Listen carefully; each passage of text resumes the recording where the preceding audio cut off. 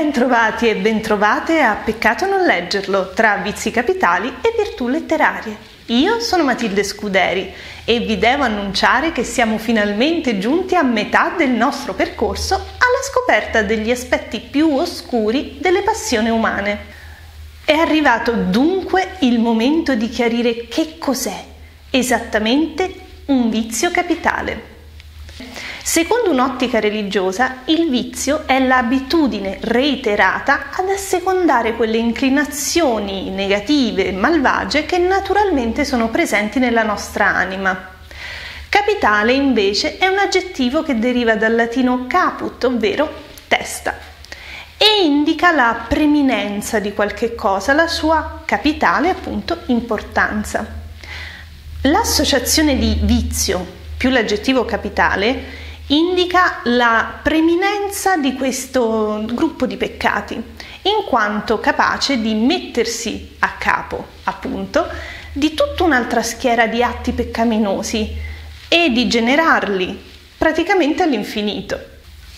La potenza generativa e il carattere intrinsecamente naturale dei vizi sono particolarmente evidenti nella gola che oggi andiamo ad affrontare.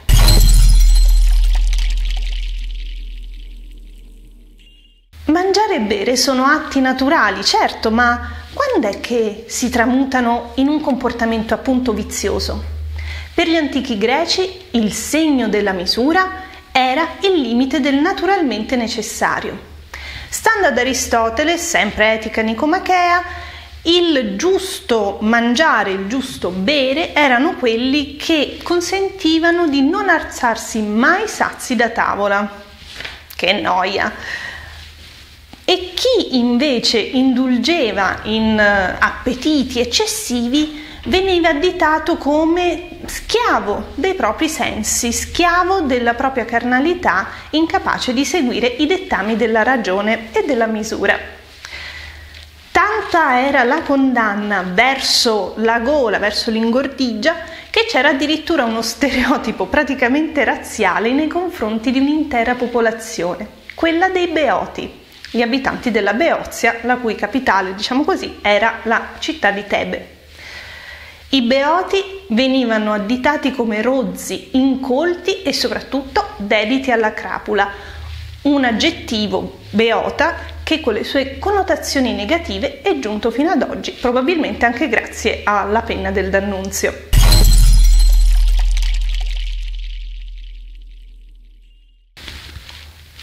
Per la tradizione giudaico-cristiana, il primo peccato commesso dall'uomo, anzi dalla donna, è stato quello di mangiare una mela.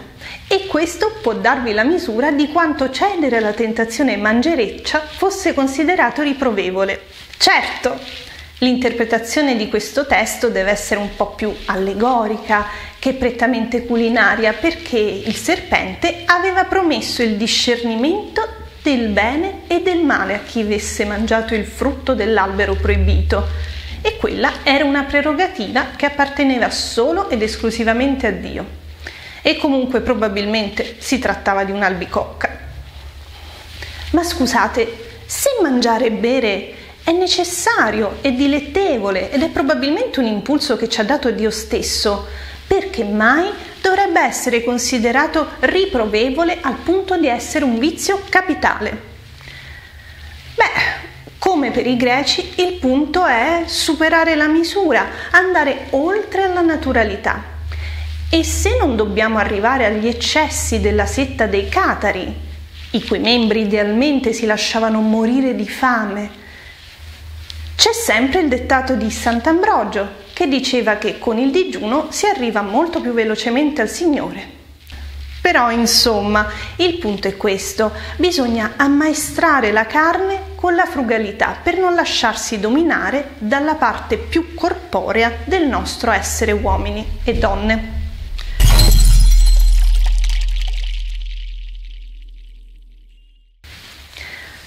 Ma non è solo la quantità di cibo a essere problematica, lo è anche il suo grado di sofisticazione e questo ci fa capire molto chiaramente come nella cultura occidentale la gola sia un peccato prettamente sociale. Perché di gola possono peccare i ricchi in un tempo in cui le risorse sono particolarmente limitate e quando si ha in mente la crapula dell'ingordo e del goloso, probabilmente l'immagine mentale è quella di un banchetto nobiliare ricco di cibi abbondantissimi e preparati in modo molto raffinato. Simili tavole denotano una durezza di cuore che va proprio contro al dettato dei Vangeli, che predica invece l'amore per il prossimo, soprattutto se è più bisognoso e più povero.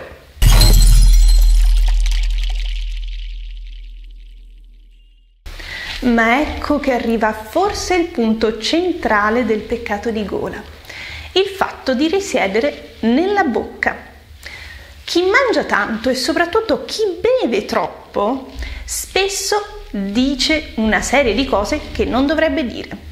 E quindi la gola apre la porta a tanti altri peccati che non solo rende il corpo più rilassato e quindi più incline anche al peccato della lussuria, grande compagna di carnalità, ma fa dire al beone e al goloso bugie, insulti, mh, mm, affermazioni vanagloriose e addirittura bestemmie e menzogne. Insomma, un'oralità che non andava per niente bene, sia dal punto di vista di ciò che si immette nel corpo, sia dal punto di vista di ciò che esce dall'anima. Il legame tra la grassezza da un lato e la stoltezza dall'altro risiede proprio in questa doppia connotazione e dà vita a uno stereotipo negativo che resiste intatto ancora ai nostri giorni.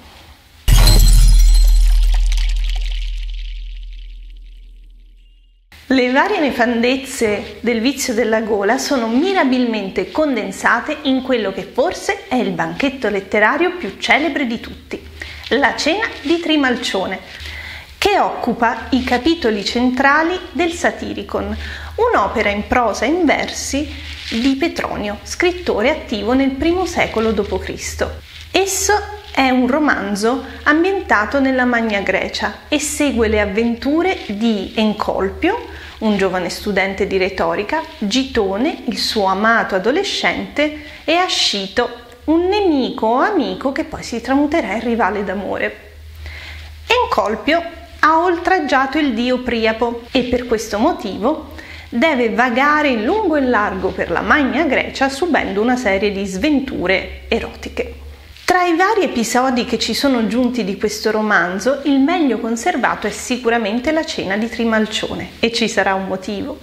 Trimalcione è un liberto arricchito prototipo del parvenu e dà, per ostentare le proprie recenti ricchezze, un banchetto che si tramuta in un vero e proprio spettacolo.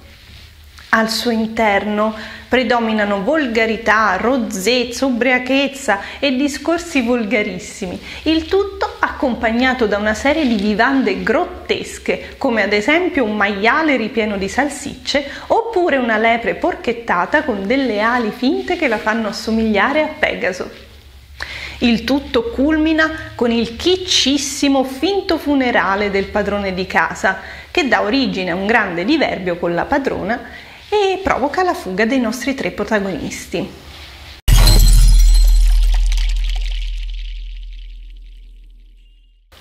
I tratti comici e un po' grotteschi la fanno da padrone anche nei ritratti dei grandi golosi della letteratura, due in particolare, Falstaff e Pantagruel. Falstaff, personaggio shakespeariano, compare in Enrico IV in Enrico V, nelle Allegre Comari di Windsor e anche nell'opera omonima di Verdi, sul libretto di Arrigo Boito.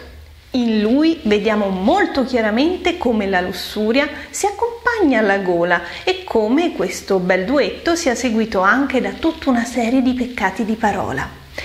Falstaff, infatti, con la sua imponenza e il grande pancione che desidera sempre riempire, è tuttavia molto seducente per le donne.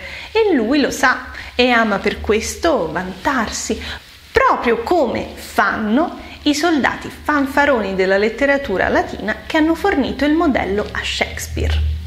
Pantagruel è un personaggio nato dalla penna di François Rabelais che nel 1532 fino al 1562 scrisse cinque romanzi satirici che fecero grande scalpore e provocarono addirittura le ire della censura.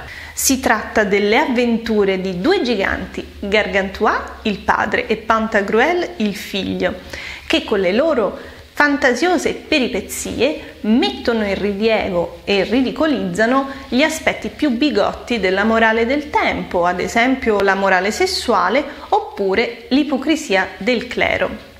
Pantagruel ha maggiore spazio nella narrazione. Celebre per le sue dimensioni sovrumane e anche per il suo straordinario appetito, in lui però c'è anche un tratto che non vediamo nel classico personaggio goloso, ovvero un grande amore per la cultura umanistica e una sostanziale bontà d'animo e generosità. L'episodio forse più divertente è nel primo volume delle sue avventure, quello del 1532, in cui i suoi compagni di viaggio riescono addirittura ad entrargli in bocca dove scoprono un mondo intero, con città, mercati e campi. Insomma, grazie alla sua ingordigia, Pantagruel sfama addirittura interi villaggi. Forse questo è un segno dei tempi. Dopo le astinenze monacali che hanno contraddistinto il Medioevo, forse è tempo che il corpo faccia pace con lo spirito. Il tutto con buona pace dei censori.